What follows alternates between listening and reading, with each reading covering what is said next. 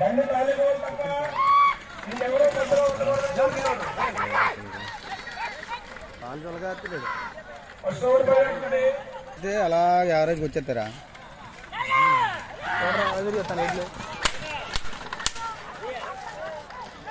వచ్చేస్తారా అలా ముందు రెండు రోజులు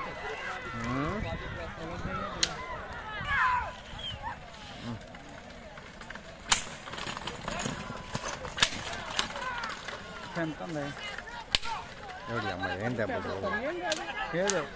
ఇవాళ?